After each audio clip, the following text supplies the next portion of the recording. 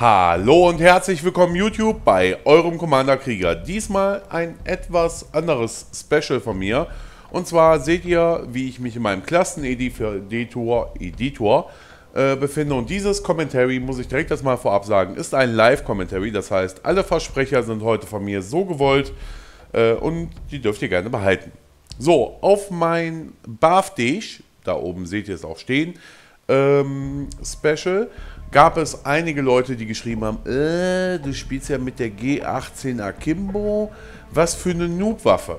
So, darauf muss ich erstmal sagen, das ist mir bei einem Abonnenten von mir aufgefallen, dem ich es geschrieben habe. Ich habe auf ganz YouTube noch kein einziges Video gesehen, außer einer Montage, wo jemand äh, ja, fast ein Wurfmesser-Only macht. Das heißt 70% in einem Team-Deathmatch ähm, ja, mit dem Wurfmesser erledigt. So, ich habe von meinen 19 Kills, die ich insgesamt hatte, 13 Leute mit einem Wurfmesser getötet. Man kann jetzt sagen, es waren nicht die schönsten Kills, aber das ist mir auch egal. Es waren Wurfmesser-Kills. Bums, fertig aus. Wenn ihr was Besseres könnt, dann, dann macht es bitte und zeigt es uns. Ich will es gerne sehen. So, ansonsten, ähm, ich möchte mal ein bisschen, ja, meine Vorstellungen euch mitteilen. Und zwar, die PP2000 ist ja eigentlich so eine kleine Scar Age im Handtaschenformat. Also eigentlich eine totale Noob-Waffe, weil die ist ja viel zu stark. Die G18 sieht genauso aus. Die ist auch total overpowered und äh, gerade bei den PC-Spielern äh, total verhasst. Ich muss dazu sagen, auf der PlayStation 3 ist es schwieriger mit dieser Waffe vernünftig zu arbeiten. Ganz anders sieht es bei der M93 Raffica aus. Auch bei dieser Waffe braucht man in meinen Augen sehr viel Übung, um mit ihr erstmal überhaupt vernünftig arbeiten zu können. Bei der TMP, das ist für mich die ganz kleine ACR im, im ja, noch kleineren Handtaschenformat, aber das ist etwas für Zielfaule. Das heißt für die Leute, die gar keinen Bock haben zu zielen. Ja, dann kommen die Schrotflinten. Die Schrotflinten allesamt, egal wie sie hier stehen, fallen komplett raus, weil ja, mit einer Schrotflinte kann ja jeder Leute umbringen. So, Handfeuerwaffen. Ich glaube, hier ist der einzige Punkt, wo ich mich, glaube ich, ab sofort, wenn es nach einigen Leuten geht, nur noch bewegen darf. Und zwar am besten in dieser Kombination. Die USP mit einem Schalldämpfer, weil die Waffe ist wirklich so gesehen schwach. Und ich glaube, das ist das Einzige, was die Leute sehen wollen. Die 44er Magnum, oh, die ist viel zu stark. Die M9, die schießt ja sowas von dermaßen schnell. Okay, Desert Eagle darf ich auch nur, darf ich auch noch nehmen. Ähm, Schade, dass es für die Desert Eagle keinen Schalldämpfer gibt, mal nebenbei. Ihr merkt, ich bin wirklich ein bisschen angepisst. Warum? Ähm, ja, ich versuche Waffenklassen zu erstellen, wie ihr es auch hier seht, die gut miteinander harmonieren, mit denen man zusammen arbeiten kann. Ich habe zum Beispiel hier kombiniert die Stinger-Rakete mit Eiskalt, was ich sehr wichtig finde. Einfach, wenn jetzt ein feindlicher Kampfhubschrauber draußen ist, dass ich ihn runterhauen kann. Das ist meine Kombination. Dann habe ich die AUG H-Bar mit der schnell rauszuziehenden G18. Finde ich auch eine gute Kombi. So, TAR 21 mit Vollmantel geschossen wird ergänzt von der M93 Raffica, weil da habe ich noch ein bisschen mehr Feuerpower. Und gerade auf kurze Distanzen, ja, bin ich da schon ziemlich dankbar drin, zumal ich auch noch Hardliner in dieser Klasse dabei habe. So, bei Jute Laune habe ich die M16 einfach nur nackig.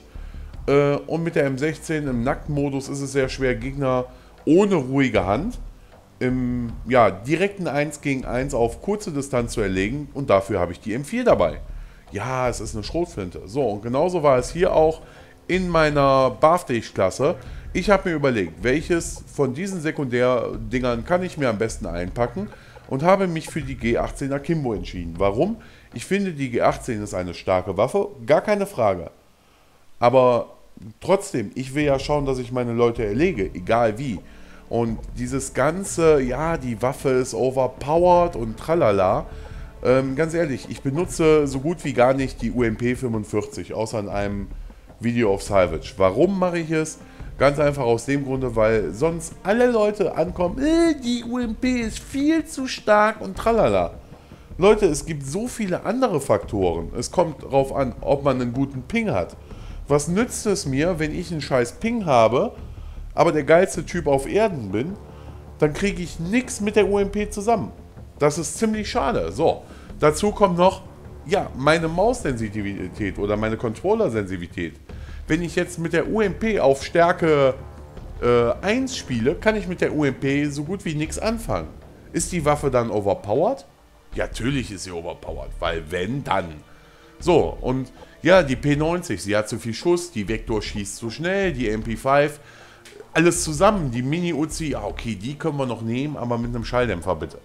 Ihr merkt, egal bei welcher Waffe, außer ich sag mal hier bei der MG4, M240, ähm, der Mini-Uzi und der F2000 gibt es bei jeder Waffe das Geheule, die Waffe ist overpowered. Und ich wollte einfach nur jetzt mal ein bisschen meinen Frust rauslassen. Ich werde mir jetzt auch während dieses Live-Commentaries mal eine rauchen. Weil ich muss ganz ehrlich sagen, ey Leute, es ist doch scheißegal, ähm, was die Waffe für Wert hat. Hauptsache der Typ fällt um. Wenn die Waffe so overpowered wäre, hätten sie alle dabei. Und auf der Playstation ist es nicht der Fall. So, das heißt, ich zeige euch jetzt einfach mal, und da habe ich jetzt gerade tierisch Bock drauf, was die Leute als Waffen verwenden. Das heißt, wir gehen jetzt einfach in ein ganz normales Bodenangriffsmatch und werden uns jetzt hier verbinden lassen. Ich werde da einfach sinnlos rumrennen in meinen Tod. Hier, Herrschaft of Quarry. Ich werde jetzt in meinen Tod rennen und wir schauen die ganze Zeit mal, was die Leute für Waffen nutzen. Jo. Ich werde jetzt die Baftisch-Klasse nehmen, ganz einfach darum, weil ich da ähm, ja, die Möglichkeit habe, schnell zum Gegner zu laufen. So, hier kommen schon die ersten Tubes wieder geflogen, was ich natürlich sehr geil finde. Und ich laufe jetzt mal direkt nach C, weil da sind Gegner. So, hier der Typ steht schon mal geil mit dem Thumper da. Bastard. Naja. Nichtsdestotrotz, so, hier schauen wir mal. Oh, eine ne Schrotflinte. Naja. So, was hat der dabei? Ja, die UMP. Total overpowered, das Teil. So, also muss ich jetzt wieder hochlaufen. Wenn wir Bravo gesichert haben. Also das erste Live-Commentary. Und was macht der da? Hallo, bleib mal stehen. Wir wissen, was für eine Waffe dabei. Hier, One-Man-Army schon am Mann. So, und schaut euch an, was der Typ hat. Ja, Granatwerfer. Auf der ACR. So, das ist für mich eine overpowerte Waffe, der Granatwerfer. Weil der wirklich unrealistisch viel wegranzt. So, da, was hatten wir hier? Snipergewehr, Thermalvisier, auch sehr gerne. Und dann noch hier so eine Quickscoper-Methode. Naja, wir laufen einfach mal weiter. Schauen mal, was als nächstes kommt. So, während der Typ da gediegen runterfällt. Was hast du dabei? Boah, die PP2000, ey, das geht gar nicht. Das ist, finde ich, auch eine coole Kombination mal nebenbei die M16 mit einer PP2000 zu kombinieren. Finde ich sehr nice. So, ich renne jetzt nochmal andersrum, weil da drüben war ja der PP2000 Heini. So, hier auch geil. Super, wir spielen Herrschaft, du Depp. So, das, das sind Leute, über die rege ich mich auf. Da kann eine Waffe noch so overpowered sein. Über so einen Spacko, der da oben dumm rumkämpft. Das sind Leute, die mich ankotzen. So, guck mal hier. C, da vorne kommen die Tubes geballert. Das sind die overpowerten Waffen. Ein Mann-Armee, direkte Gefahr und Kommando. So sieht die richtige, perfekte Assi-Klasse aus. Ja, ihr merkt schon hier. Der Typ, der steht hier auch schon seit einer Viertelstunde. So, ich renne jetzt einfach mal hoch und gucken wir mal, was hier ist. RPD. Total overpowered. Also geht's wieder weiter. So, das Video wird jetzt noch, ich denke mal, eine Minute dauern. Also für die Leute, die keinen Bock mehr haben auf meinen Style jetzt, Ihr könnt gehen. So, ich renne jetzt einfach mal hier doof rum. So, war es Kommando? Natürlich war es Kommando. Warum auch nicht? Kommando ist doch so ein, ein schönes, geiles Perk. Ich muss mal meine Zigarette ziehen. So. Ja, so sieht es bei mir im Spielen aus. Ich rauche immer. Ja. Und da, oh, die 1887 hatten wir auch lange mehr. So, damit ihr mal einen kleinen Einblick bekommt, was die Leute hier da ist auch ein Kollege. Das ist hier mein G18 Fritti. So, wenn ich mal damit vernünftig umgehen kann. Und unten seht ihr K21. Also nur die ganzen overpowerten Waffen. Hey Leute, das Spiel ist nun mal so. Da ist die G18. Und ich will versuchen, meine Gegner zu töten. Also nehme ich die für mich besten Waffen mit. Das ist genauso, ihr wollt am schnellsten von, von München nach Meerbusch. Ja, was macht ihr? Ihr nehmt also den besten Wagen, den ihr zur Verfügung gestellt kriegt. Hier, Super Claymore. So, K21. So, und habt ihr mal was gemerkt? Die meisten Leute haben hier Kommando dabei. Ich renne mal einfach an den vorbei. Auch Kommando dabei. Phänomenal. So, das ist ein Perk. Und der Granatwerfer, die kotzen mich an. Was hast du dabei, Jung? Was hast du dabei? Kommando, Wahnsinn. Macht es so Spaß zu spielen, wenn man sagt, das sind overpowerte Waffen, wenn die ganzen Leute da äh, hier die Hardcore-Perks nehmen? Nee, überhaupt nicht. Und der auch wieder Kommando. Naja, ich hoffe, es hat euch gefallen. Es war mal ein kurzer Einblick in meine Wutausbrüche. Jetzt bekomme ich auch noch einen Anruf hier. Ähm, den drücke ich erstmal weg. So, und ganz ehrlich, Leute, bitte hört auf, darüber zu labern, ob die Waffe overpowered ist oder nicht. Es kommen so viele Faktoren hinzu. Und damit fange ich an mit dem Faktor ähm, Ping. Das ist für mich der allerwichtigste Faktor. Deshalb ist mein NAT-Typ auch offen.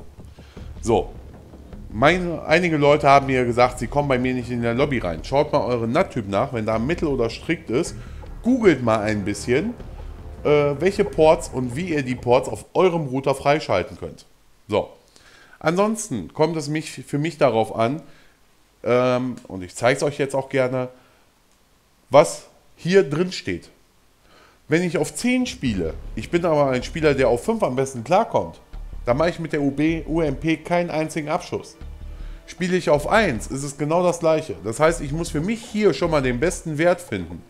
Und eigentlich ist das doch Cheaten, oder? Weil ich, ich nutze ja etwas aus. So, wo ich schon mal hier bin, ein kleiner Tipp am Rande. Ihr seht hier, die Ränder sind sehr weit auseinander. Normalerweise wäre mein Bild so. Wenn ihr die aber zurücksetzt, habt ihr den Vorteil, ihr seht einfach viel mehr von eurem Spielfeld. Und ja, das ist ein kleiner Tipp am Rande. Genauso natürlich die Helligkeit. Ihr seht oben nicht sichtbar. Ich werde dieses Video auch nicht bearbeiten deshalb. Ihr seht oben, das nicht sichtbar ist gut sichtbar. Warum? Einfach, damit ich die Gegner in den hintersten Ecken sehen kann. Also bin ich ein totaler Cheater. Und ich hoffe, es hat euch trotzdem gefallen. Hier diese Tipps kann ich euch nur empfehlen. Stellt ihr auf die niedrigste Stufe und ihr seht einfach mehr von eurem Bildschirm. Bearbeitet eure NAT-Typen und ihr werdet automatisch erfolgreicher sein, äh, wenn ihr weiter auch an meine Tipps arbeitet, die ich euch nenne. Weil einfach mit einem vernünftigen Ping, schaut euch Asiali an. Asiali wäre nie so erfolgreich, wenn er nicht eine super Internetverbindung herzaubern könnte. Weil wenn der Typ einen scheiß Ping hat, ist das Spiel gegessen. Wenn ihr mir nicht glaubt, ihr könnt ihn gerne fragen. Schreibt ihm eine Nachricht, fragt ihn, ey, ist der Ping für dich wichtig? Und ihr werdet zurückbekommen, auf jeden Fall. So, das war jetzt mal mein ähm, ja, Noob-Waffen-Special, so werde ich es glaube ich nennen. Ich weiß es noch nicht. Mein erstes Live-Commentary, so höre ich mich an, wenn ich ziemlich angepisst bin. Und ja, ich verbleibe wie immer mit einem Gutschuss, euer Commander Krieger. Und ich schaue jetzt noch mal eben kurz auf meine Abstimmung. Und zwar hat die entschieden, dass als nächstes Video das M4A1 kommen wird. Das wird, denke ich mal, morgen der Fall sein. Ich versuche dieses Video nur zum Zwischenstand. Wir haben es jetzt 17.18 Uhr, noch heute am Montag hochzuladen. So, also Gutschuss, euer Commander Krieger und bitte lasst es sein, irgendwelche Waffen als Overpowered oder Noob-Waffen hinzustellen. Ja, ansonsten spielt doch selber mit diesen Noob-Waffen, dann seid ihr die besten Spieler und habt die beste KD und zeigt mir das erstmal. In diesem Sinne, Gutschuss, euer Commander Krieger.